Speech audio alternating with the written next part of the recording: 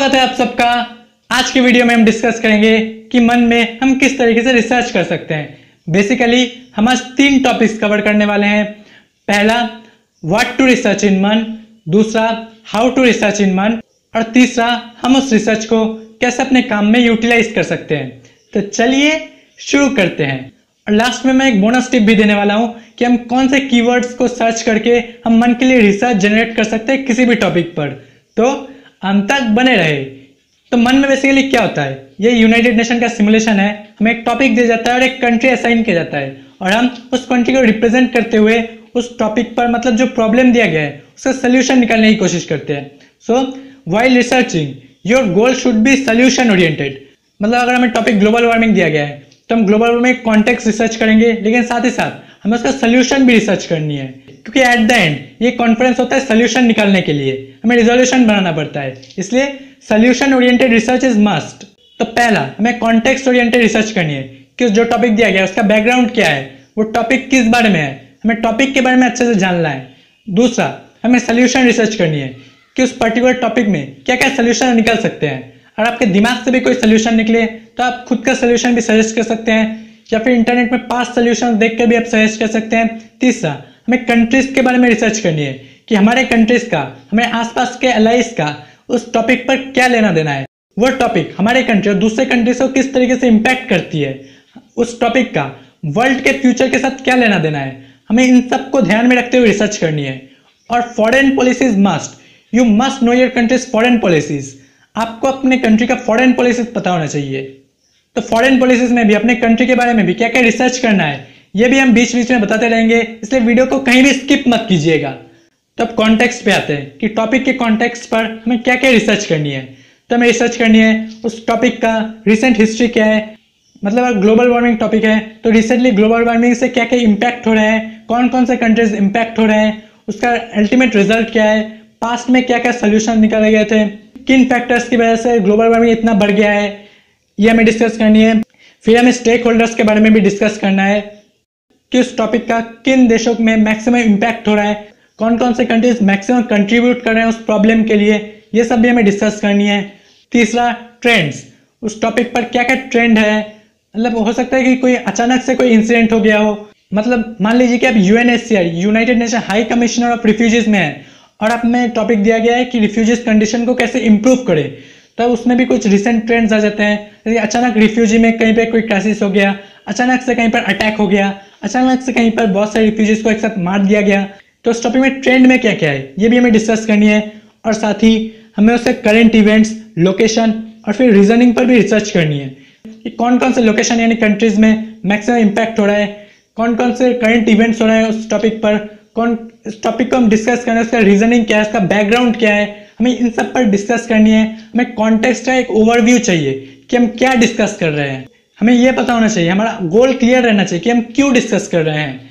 This is the why why we are discussing this the most important question you should have a clear idea about it कि तुम्हारे committee का एक गोल है कि तुम्हें इस प्रॉब्लम का सोल्यूशन निकालना है। तो उसके लिए तुम्हें प्रॉब्लम को अच्छी तरह से समझना होगा।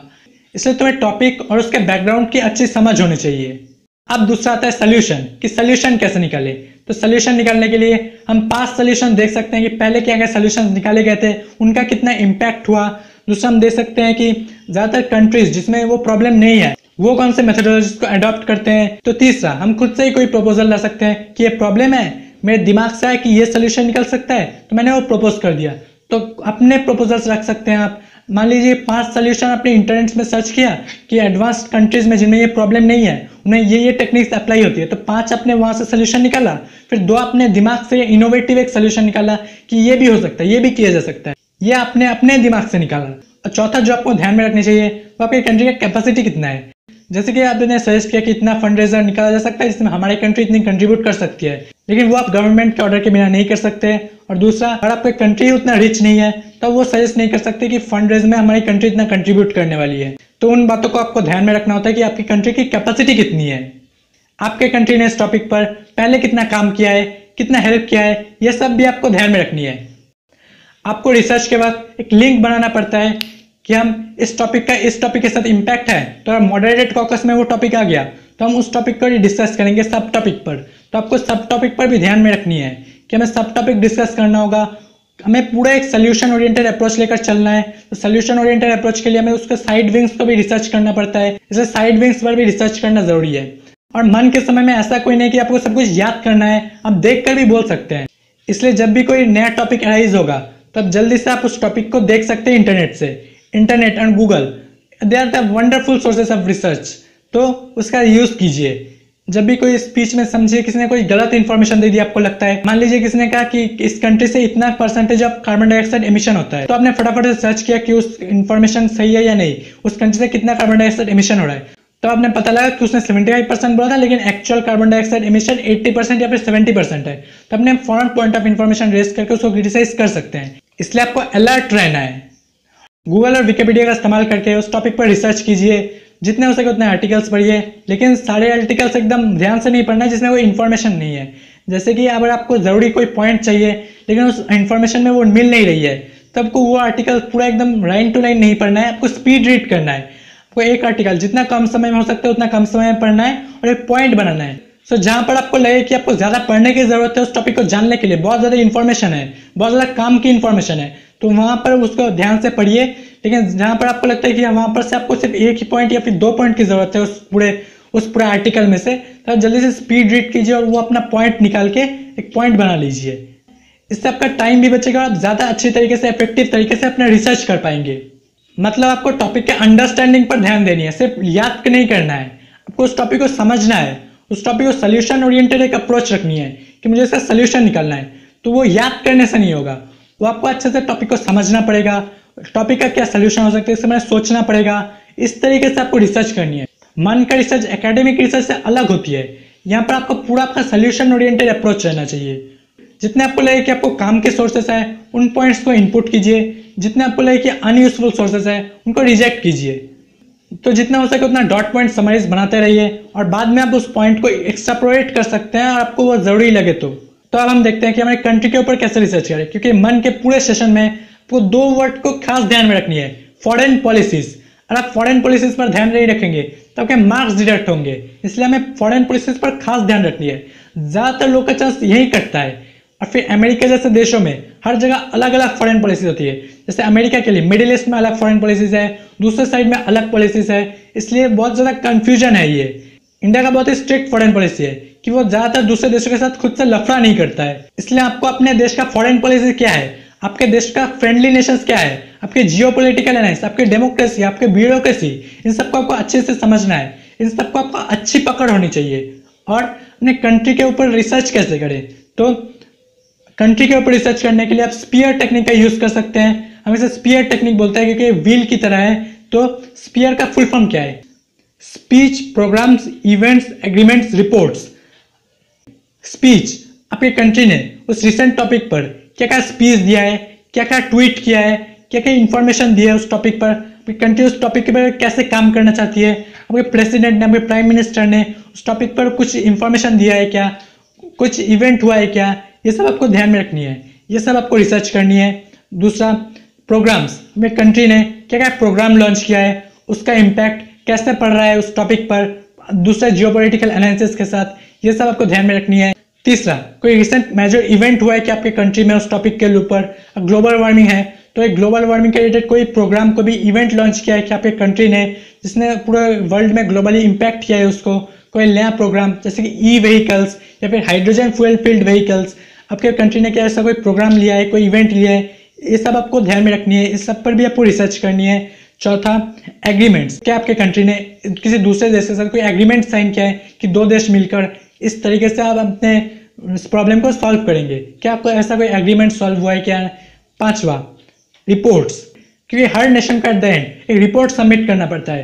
तो आपके देश ने कोई रिपोर्ट सबमिट किया है क्या?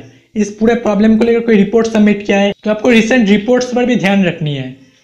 और आपके देश का कौन कौन से देशों के साथ अच्छा रिलेशन है, उन सब पर भी आपको ध्यान में रखनी है कि हो सकता है कोई देश आपके देश का दुश्मन हो। फिर अगर आप यूनाइटेड नेशन में उस देश के साथ ज़्यादा सपोर्ट करेंगे, या फिर आपके देश ने कोई एक स्पीच दिया है, किसी ने, किसी एक कंट्री के, किसी एक पार्टी पर कोई एक क्रिटिसिज्म किया है तो फिर आप उसको सपोर्ट नहीं कर सकते। तो ये होगा कि आप अपने गवर्नमेंट को वायलेट कर रहे हैं तो आप ये बात नहीं कर सकते। मतलब सोचिए कि यमन में कोई झमेला हुआ है, वहाँ पर कोई आग लग गई है, कोई ब्लास्ट हुआ है, फिर पीपल गवर्नमेंट को रिस्पॉन्ड करे कि गवर्नमेंट ने वो चीज़ फ्यूल टैंकर्स को ठीक से मैनिपुलेट नहीं किया था। ये गवर्नमेंट को रिस्पॉन्सिबिलिटी कर रहे हैं लोग। तो फिर आपका देश यूनाइटेड किंगडम है। आपके देश के गवर्नमेंट ने वो उसको क्रिटिसाइज किया ये येमेन को क्रिटिसाइज किया है कि क्यों तुमने ये सब नहीं किया, काम ठीक से नहीं किया गवर्नमेंट को ज़्यादा रिस्पॉन्सिबल होना चाहिए। ये क्रिटिसिज्म किया है। फिर अगर यूनाइटेड नेशन में वो टॉपिक रेज हुआ है तो वहाँ पर अगर आप कहेंगे कि गवर्नमेंट की गलती नहीं है सब हम लोगों की गलती की वजह से हुआ था, ये ज़्यादातर उन रिपोर्ट्स में भी तो वैसा बताया गया है तो आप उसको सपोर्ट करेंगे तो आप गवर्नमेंट के अगेंस्ट जाना हुआ। लेकिन आप अपने गवर्नमेंट के अगेंस्ट नहीं जा सकते। This is the thing this is the thing you should remember कि आप अपने कंट्री को रिप्रेजेंट कर रहे हैं। तो you should have complete grip of your country आपके कंट्री के सारे इंफॉर्मेशन आपके फिंगर टिप्स में होनी चाहिए। वो आपके पूरे रगों में दौड़ना चाहिए कि आपके कंट्री में क्या चल रहा है। आपकी कंट्री के पॉलिसीज़ क्या है? आपकी कंट्री के नेशंस क्या है? आपको अपने कंट्री के एकदम रोम रोम से वाकिफ होना है। तो हमने क्या देखा? हमें पहले कॉन्टेक्स्ट पर रिसर्च करनी है, दूसरा हमें सोल्यूशन रिसर्च करनी है, तीसरा हमें अपने कंट्री के बारे में रिसर्च करनी है। अब देखते हैं कि हम उस रिसर्च का कैसे यूज़ कर सकते हैं।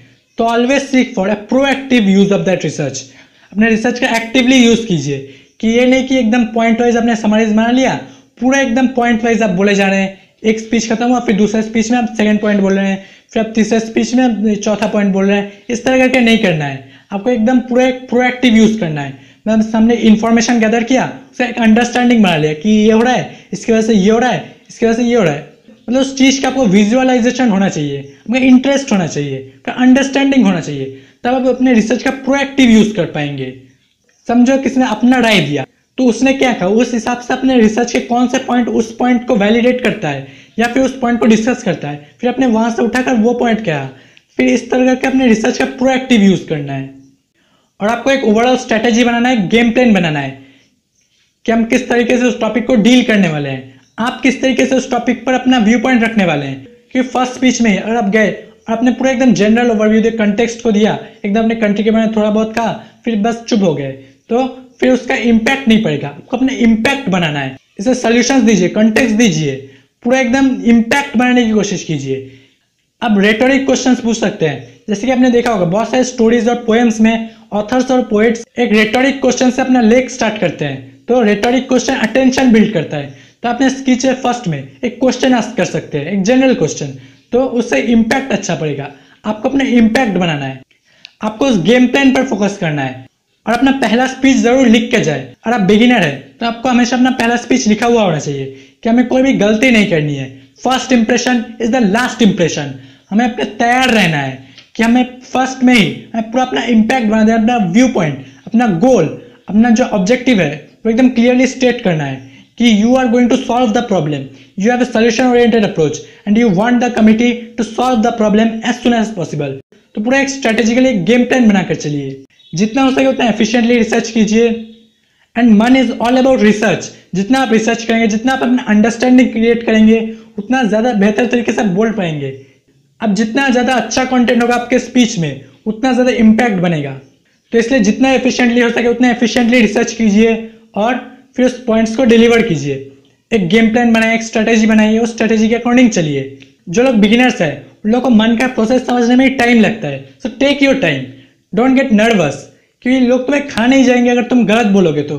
लोग तुम्हें कुछ, लोग तुम्हारा सारा अलग नहीं कर देंगे और तुम ठीक से नहीं बोल पाओ तो। जस्ट फोकस ऑन लर्निंग क्योंकि अगर तुम लर्निंग पे फोकस नहीं करोगे तो सब कुछ बेकार है। हमें तुम्हें कंपटीशन पर फोकस नहीं करना है, तुम्हें लर्निंग पर फोकस करना है कि जितने लोग एडवांस मनर्स आए हुए हैं, हमें उनसे सीखना है कि वो कैसे बोल रहे हैं, वो कौन सा टेक्निक यूज़ कर रहे हैं, वो कैसे स्ट्रेटेजिकली प्रेजेंट कर रहे हैं, हमें उन सब पर भी ध्यान रखना है। कि हमारा ऑब्जेक्टिव सिर्फ़ जीतना नहीं होना चाहिए, हमारा ऑब्जेक्टिव सीखना होना चाहिए कि हमें सीखना है। और हमें वो सबसे सीखना है, चाहे मन का चीफ हो, चाहे दूसरे कोई मनर्स हो, चाहे आपसे भी बिगिनर्स मनर्स हो, या फिर आपसे एडवांस मनर्स हो, आपको सबसे सीखना है। आप जितना सीखते हैं, आप उतना खुद का बेहतर बनाते हैं। इसलिए focus on learning not on winning anything और आप जितना ज़्यादा रिसर्च करेंगे कॉन्टेक्स्ट सोल्यूशन अपने कंट्रीज़ जितना ज़्यादा रिसर्च करते जाएँगे, आप उतना ही अच्छा बहते जाएँगे। अगर आपका फिर भी कोई डाउट है तो आप कमेंट कर सकते हैं। आप मेरे इंस्टाग्राम से कनेक्ट कर सकते हैं लिंक डिस्क्रिप्शन में होगा। और जैसे कि मैंने कहा था, मैं एक बोनस टिप दूँगा। तो आपको स्क्रीन में कुछ सैंपल कीवर्ड्स के एग्ज़ाम्पल दिख रहे होंगे, आप इनको नोट कर लीजिए। और जो भी आपको टॉपिक मिलेगा आप उन टॉपिक को जैसे स्पेस की जगह इस्तेमाल कीजिए और रिसर्च कीजिए इंटरनेट और विकीपीडिया से।